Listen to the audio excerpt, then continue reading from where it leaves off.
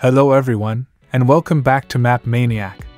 Today, we're going to be talking about one of the most unique countries in the world, the Vatican City. The Vatican City is the smallest independent state in the world, both in terms of area and population. It is also the headquarters of the Roman Catholic Church, and as such, it has a rich history and cultural heritage. In this video, we'll be exploring the geography of the Vatican City and how it has shaped its development over the years. The Vatican City is located in the heart of Rome, Italy. It is surrounded by walls, and its boundaries are marked by a yellow line on the ground. The Vatican City is only 0.44 square kilometers in size, which makes it the smallest country in the world.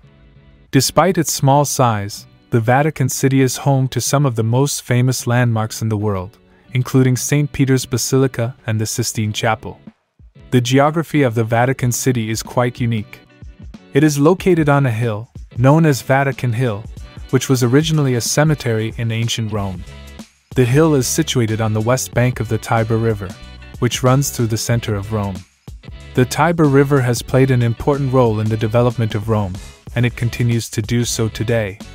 The river is used for transportation, and many of Rome's most famous landmarks are located along its banks. The climate of the Vatican City is typical of the Mediterranean region, with hot, dry summers and mild winters. The average temperature in the summer is around 27 degrees Celsius 81 degrees Fahrenheit, while in the winter, it is around 10 degrees Celsius 50 degrees Fahrenheit.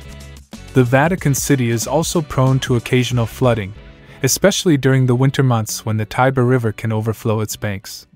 In conclusion, the geography of the Vatican City is unique and fascinating.